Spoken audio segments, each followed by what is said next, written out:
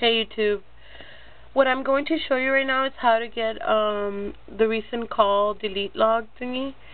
The what this does is it will allow you to delete each individual call um, without having to clear all.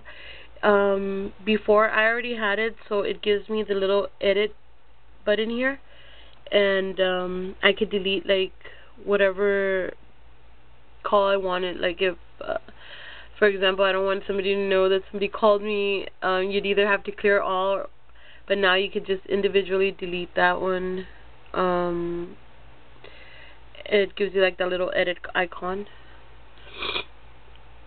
Um, okay, first thing you're gonna do is go to Cydia. Um,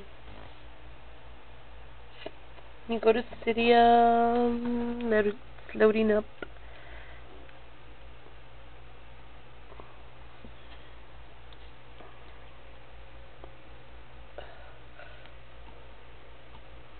Okay, um, I want you to go to Manage, Sources, and you're going to add a source.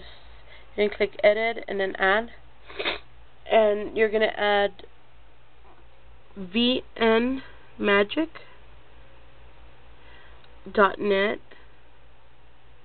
forward slash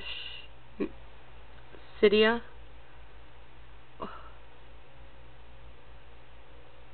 Um, forward slash you go ahead and add it and then um, I already have it so it's gonna be this one. You click done this one you go in here and you go ahead and look for where is it? Recent call recent forward slash call log delete.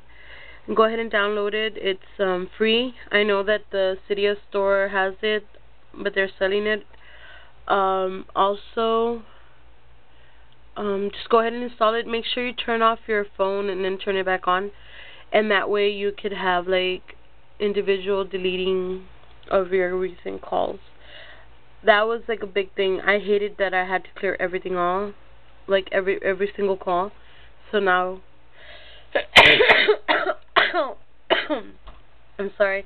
So now you could you get to delete everything at an individual basis. So, um, I hope you enjoy this video. I know the quality is terrible, but it's a real good application.